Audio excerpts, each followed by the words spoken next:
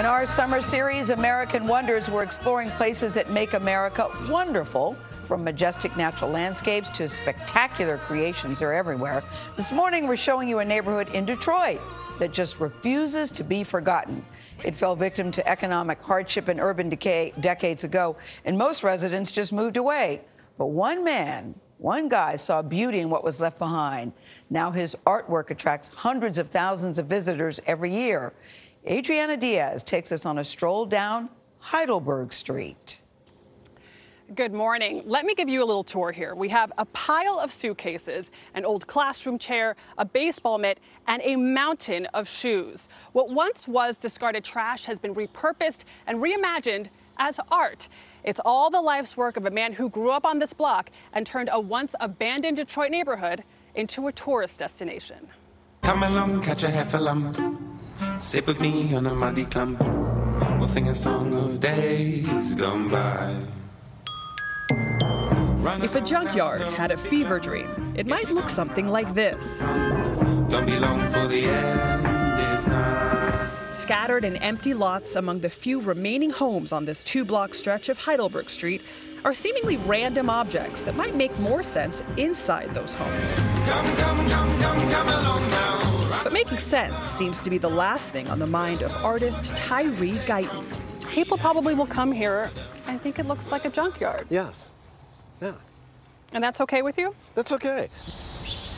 Guyton grew up on this street with three generations of his family through the rise and fall and now renaissance of the city around it, Detroit. My grandfather, he was my best friend. I was nine years of age when he gave me a paintbrush and told me to paint and said that the world was my canvas. But that world imploded in 1967 when racial tensions and post war urban decline sparked five days of deadly riots in their own backyard. Oh, I thought the world was coming to an end, and that area was hit hard. So the riots and the aftermath led to the emptying out of this neighborhood. Absolutely. And that's really driven you Oh, yes. to bring people, bring the focus back. Someone had to do it.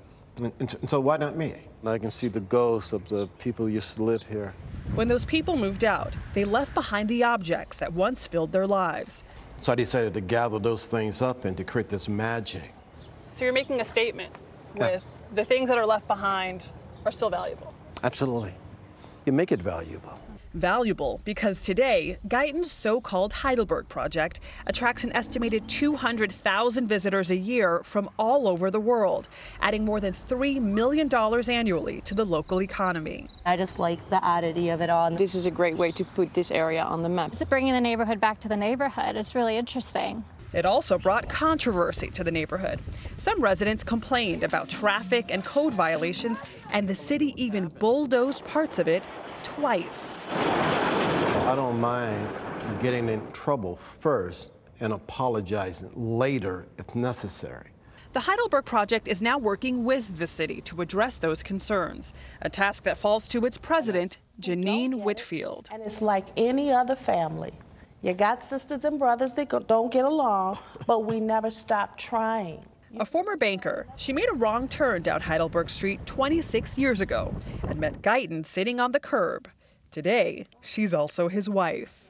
Do you feel that your work has followed the rise and fall and rise of Detroit? I definitely do. I think it is the greatest symbol. And as the city of Detroit is kind of having this new life, so to speak, so is the Heidelberg Project.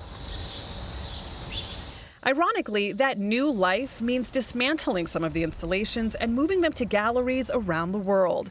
They have a proposal at City Hall to turn this once blighted neighborhood into a vibrant artists' village with live work studios, an arts academy, and businesses that cater to them. They've even trademarked their own school of art. We call it Heidelbergology. What is your definition of Heidelbergology? It is the study of found materials incorporated into the fabric and structure of an urban community and the effects on that community. You've put Heidelberg, this neighborhood, on the map, and now you want to take it to the next level? That's why I can walk away. I've done it. As this neighborhood's profile's risen, so has Guyton's. He's now represented by an art gallery in New York, and other cities have asked him to create works of art to revitalize their neighborhoods. So it seems the philosophy of Heidelbergology is spreading.